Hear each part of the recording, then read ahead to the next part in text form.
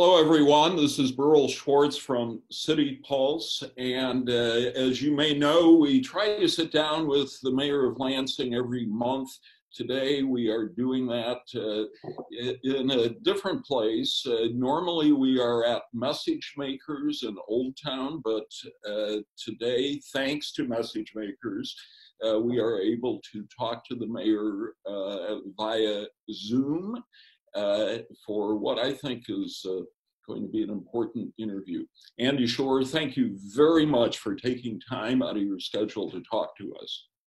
My pleasure, Berl. Happy to happy to be able to share information with your viewers in this tough Very time. good. Now, are we find I presume we're finding you in your office at City Hall. We are actually. This is only my second time back since we declared the state of emergency. I'm trying to do things remotely, and um, you know we're we're closed all of our buildings, but I thought it made sense to come back and do it here as the technology is better here. Uh, is it a challenge for you as uh, the leader of our city to uh, keep six feet apart and uh, uh, other safety measures? Uh, it's not a challenge to keep six feet apart. It's a challenge to keep the phone off my ear. Um, you know, I think I've had the phone in my ear, you know, almost every minute um, for the last few days, just you know, navigating things and working with folks. So um, you know, I'm, I'm still very connected. I've learned Zoom. I had never used Zoom before, and then now I'm learning Zoom. And you know, our the city is using Microsoft uh, and Skype and other tools. So I'm learning a lot about uh, online meetings and things, uh, and utilizing these uh, both within the city and and with other you know partners. And I want to talk to you about that sort of thing. First, I want to ask you. Is there anything new right now that uh, you can tell our uh, watchers? There's something new every few minutes. So uh, new from when is really the question. You know, there's there's just there's something new all the time, and you know we continue to monitor everything. You know, our we as you know the city uh, we declared an emergency and we have shut down our buildings and we have people at home doing work from home. We have you know essential workers on, so you're still going to have your your uh, police and fire. You know, when you flush the toilet, it's still going to go somewhere. When you turn on the sink, the water is still going to come out. Um, but uh, but we are uh, non-essential employees are in essence working from home to the best of their ability. And uh, you know we're, we're doing the best to make sure that we can serve the public but also have everybody socially separated out of the out of the buildings. You know we, we really we believe in this flatten the curve um, attitude that that the governor has been talking about and getting people um, away from each other to make sure it doesn't spread. Uh, what are essential services? What what is operating but we've got each department director who's working through what essential services are. So we know, you know, you know, police, you know, fire department, again, wastewater treatment, things like that. So our uh, our operations and maintenance, our O and M division, uh, Director Kilpatrick is designating who is essential services and who isn't. Um, you know, trash pickup. We have to make sure the trash gets picked up, uh, recycling and things.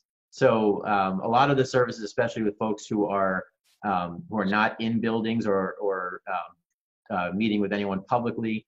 Uh, so if you are, you know, an outside employee and you're away from people uh, and you're an essential service, then then you're working. Um, so, but each department director has been able to determine that within their department. You know, we've got uh, one or two workers in Treasury that have to be there as uh, taxes are paid and things like that. They've got to be there to process, and I think they they rotate, so they're not all there, but I think they they rotate for who who grabs the, the taxes to make sure that they're paid you know, our finance, you need to have someone here to, to cut checks as needed to make sure um, payroll and other things are done. So I think they rotate one person. Uh, but again, our finance director is designating who's essential. Our treasurer is designating who's essential. Our public service director designates our economic development and planning. Uh, all the ones who have employees that work directly with other staff or forward facing designate who that essential service is. And then our internal, um, you know, you still have to process uh, in, in, internal HR stuff. So um, our HR director will des- designate. Um, we have assessing, and all of our divisions have the directors uh, determining what's essential and what's non-essential. And we we did that on purpose. You don't, you know, I can't just say, boom, this person's essential or not. We want the directors to be able to do that um, based on on kind of the the work that needs to get done uh, here in an office or uh, or out on the street, or that can get done at home. Uh, how are you dealing with, uh, uh, how are you communicating with people like, say, the county health officer? How does that work? Uh, by phone. Um, we've, we've spoken, we actually just got off the phone with her, you know, not too long ago. we have meetings that are going on uh, daily between the emergency operations team. I think they had one this morning.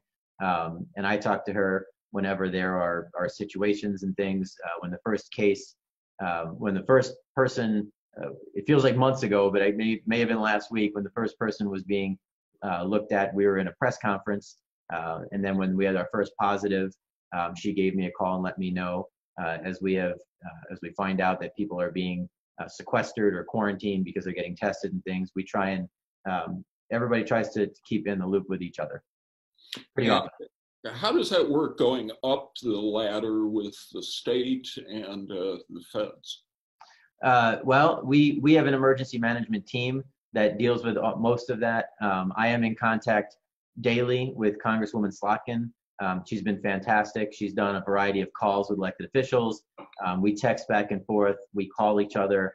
Uh, you know, as resources are needed. She has been working with, uh, with the Speaker of the House in negotiations with the Treasury Secretary to release funds from the feds. So um, our Congresswoman has been uh, very directly and very hands-on involved in a lot of this stuff to make sure that we can get the resources we need. You know, she called me and said, you know, the Small Business Administration has resources available, so small businesses should start getting ready uh, and getting their paperwork ready. And she, you know, she's told people that publicly, and, and we're telling people that. Um, we may be putting out something pretty soon with small business resources. You know, we're in contact with her on on what resources and things for for homelessness and others. Uh, and at the same time, you know, I'm in direct contact with the governor's office. So as she releases executive orders and, and other things, and they just did something for childcare for healthcare workers and first responders. Um, I've got them sending me that information daily, and I'm on their daily list, and I pass it through to my my directors and to our emergency management staff um, Nick Tate, who's our chief administrative officer in my office, is kind of the lead um, for, for my office.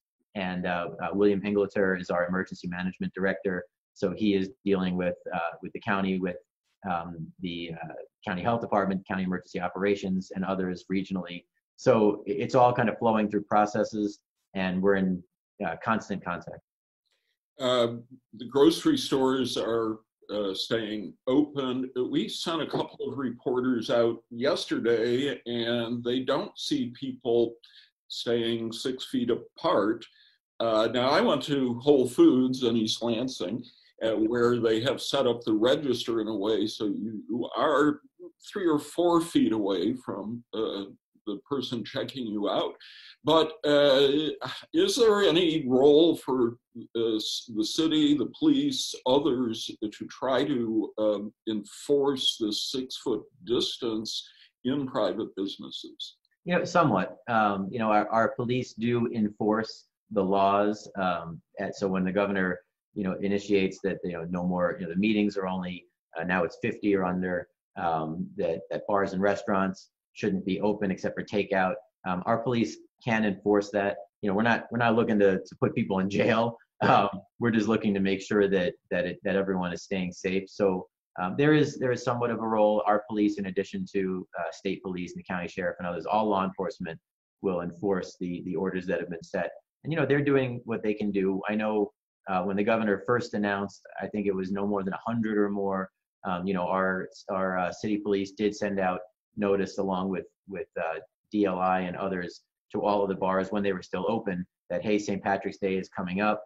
Please remember you can't have more than this number and we should be doing social separation. So we did kind of get with them just to to give them that information in advance and then things changed very rapidly. Um, so we are you know alerting business owners and talking to them and they've been very uh, very good to to comply I believe. Um, so our, our police have have taken proactive action and, and worked with uh, business owners and others to try and and comply with the governor's executive orders. You know, some of it is executive order and some of it is recommendation, um, but we're trying to get folks to comply. And I think with all of the the reporting and media uh, and understanding of the problem, you know, folks are complying. You know, we saw that that one picture whenever it was of the Riv and all the students outside, and I think when that hit nationally, you know, a lot of even the, the bar and restaurant owners understood the issues, and and that quickly went away, and the students are understanding. And um, so I think a lot of that is happening organically, but but there is a role for our our uh, our police to help to enforce uh, and to you know to um, to try and let folks know what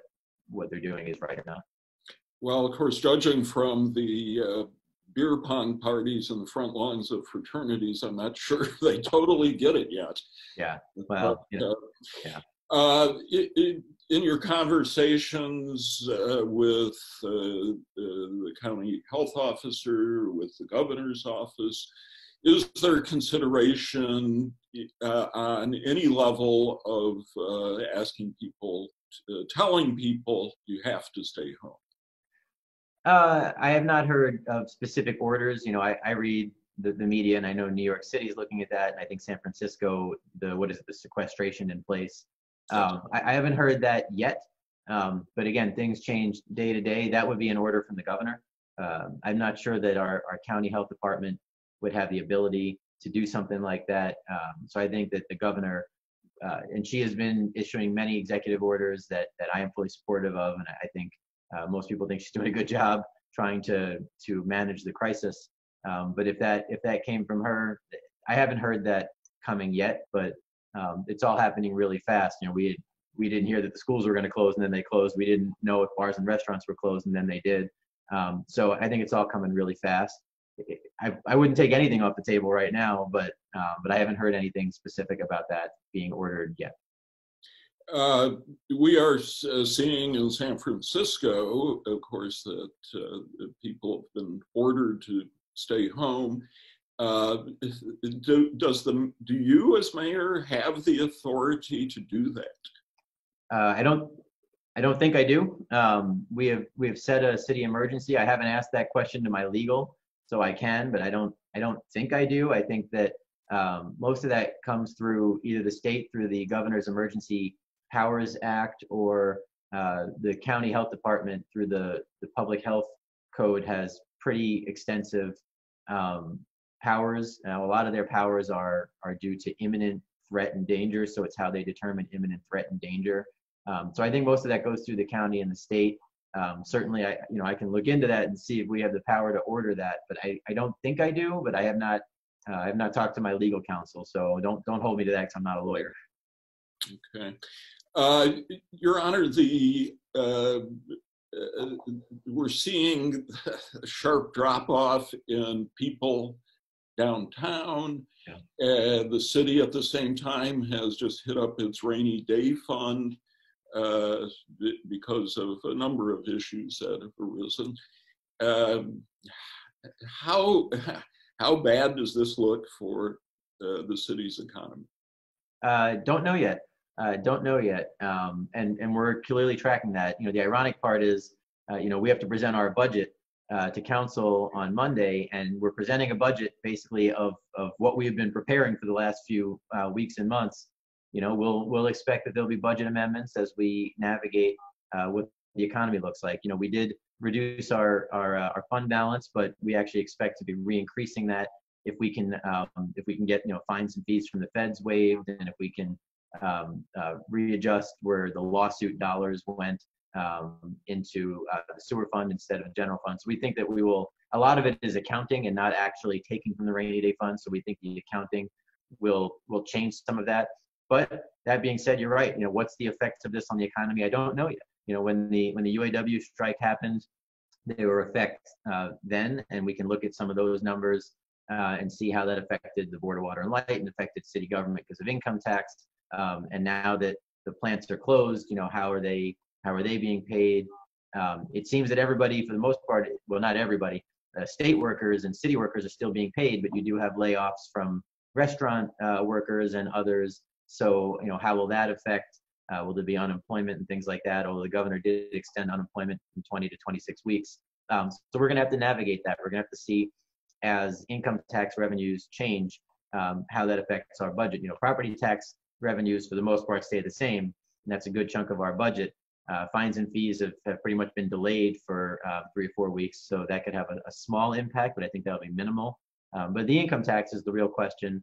You know, are people out of work? Are they uh, are they not filing the same income tax? Is there a reduction there? Um, so we'll look at all of that you know, when it ends, right? I don't know. I don't know when the when the end happens and when um, when we go back to normalcy and when we flatten the curve enough to for things to go back to normal. Um, we look at our budget quarterly, so we'll present the budget. If there are any changes from now until May, that can be made, we'll make those changes, and then we'll continue to evaluate the budget as we go and see. You know, my hope is that this is a you know a short term. Uh, I don't know if it's if they're calling it a recession or what they're calling it. It you know there will be economic impact, but does it go back to normal? Does it not? We will navigate that as we go. Uh, City Pulse is getting um, sketchy information from the hospitals. Uh, some media are getting more, but uh, I'm not seeing a ton of information uh, uh, about how prepared the hospitals are, what steps they are taking. Are you in touch with the hospitals and what can you tell us? Now, our emergency management team, uh, again, our emergency management works with the county uh, health department and county emergency management. The hospitals are part of that group, so they are talking very frequently. Um, you know, I, I, have conversations with my emergency management folks um, when I, you know, often when I can, but I'm not on the daily calls.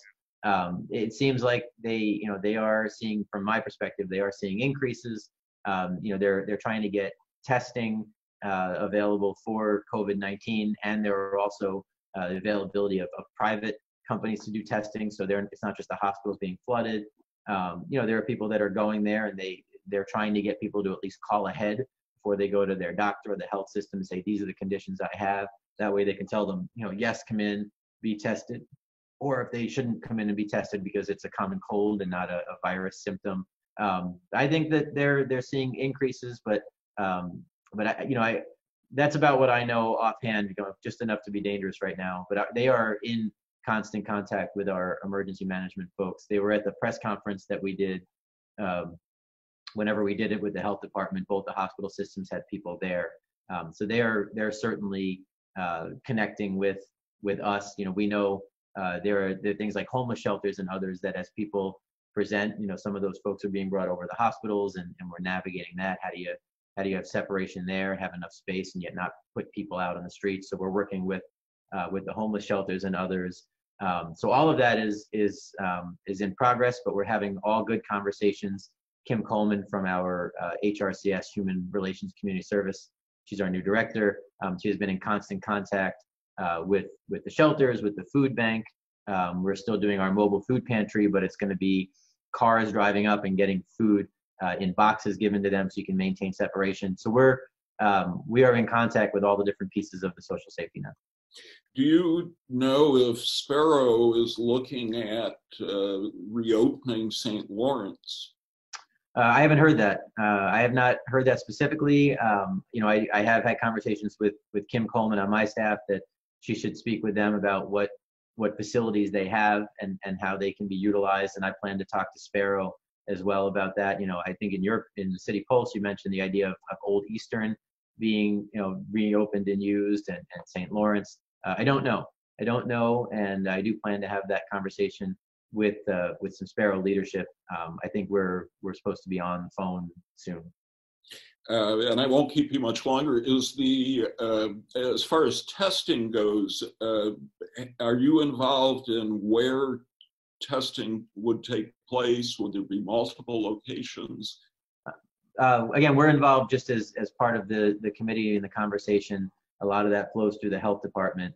Um, so we are supportive of the health department and we uh, are happy to work with them to provide options. We have not, I have not had that specific conversation with, with Linda Vail, but I know she is having that conversation, who's our health officer uh, for the county. I know she's having that conversation with the health systems, with the doctors, and with, with other entities.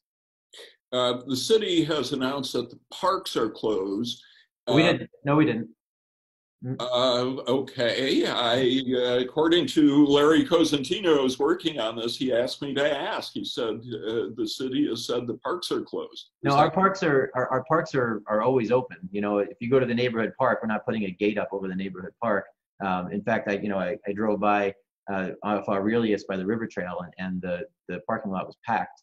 Um, our parks are not closed. They're you know the gates are closed uh, at certain parks, at, at two or three parks where you have gates, Frances and and uh, one or two others, but they're they're closed for the winter uh, and they open seasonally. But people can still get into our parks. You know, um, we, I believe we are still doing trash pickup and things like that. Uh, again, we're navigating who's essential and who's not. But if people are using the parks, then it's a, a, a public safe or it's a sanitation, public health issue. Um, but our we've got 111 parks in the city of Lansing, and you know 90% of them are neighborhood parks that you can walk to within 10 minutes of your house. So the parks are are open. The county parks, I believe, are closed. So I think Hawk Island and, and Lake Lansing, I think, don't hold me to that. You have to ask the county. I think I think they are closed, is what I was told. But city parks, it's not like we're going and putting gates up, you know, at uh, at Wentworth Park or anywhere else. Where the parks are are available to be used. Again, with uh, we'd like to see separation and things. If you're going to use the river trail or anything like that, you still want separation. But we have not barricaded our 111 parks. Uh, the city has suspended the ban on overnight parking. Correct. Um, uh, is the city ticketing for daytime parking? Uh, I don't believe we are. And uh, before I let you go, anything else you'd like to say to our audience? You know, it's the city of Lansing has been we've been very proactive. We were we were as prepared as we could be. You know, I think uh, I've been in conversation with lots of mayors from uh, all over the country and from the state. You know, I've talked to the mayor of Grand Rapids, the mayor of Jackson, just in the last two days. Um, you know, we're we're uh, we're doing the best we can to keep the public safe and to keep our visitors and anybody here safe, uh, and still have city services while keeping our employees safe as well. Um, so we are we're navigating this. This is a, a, tough and challenging time. You know, the schools are out, and uh, we know kids are home, and and uh, we know people have lots of different um, issues they're dealing with, and we're doing our best to to cover those issues in uh, in conjunction with the with the county and our neighboring communities. You know, this doesn't stop at at Waverly and it doesn't stop at our borders. This is something that all of our communities are going through. It's very different than the flood. You know, two years ago we had a flood and we had you know several locations within the city that got flooded. Um, this isn't just you know one flooded area. This is our city, every other city, every township, you know, the whole county, the whole state, and the whole country and world. Uh, we're all navigating it together. So we're, we're doing the best we can do. Um, uh, our offices are, while the, the buildings are closed, our phone numbers uh, are up online at uh, lansingmi.gov slash coronavirus. Uh, that's how you can get a hold of any department. And we're trying to get all of those numbers to ring through to people, but some of them are not. So if you leave a message, someone will get back to you. You can still email uh, different departments and you'll get answers. You can email my office uh, and we'll try and get you the right answer. So government continues to operate and, and support uh, those that need support in the city of Lansing. We're just uh, physically separated and socially separated, but we'll continue to operate and navigate it and do the best we can do while this is this crisis is going on. Well, good luck to you. Thank you so much for your time today. I hope we can do this a little more frequently during this uh, difficult uh, period. And I want to thank uh, message makers for making this possible. Uh, we'll uh, we'll keep our uh, keep our keep you in mind as you uh, lead us through this. Thank you. Thank you, Berl. Thanks, everyone.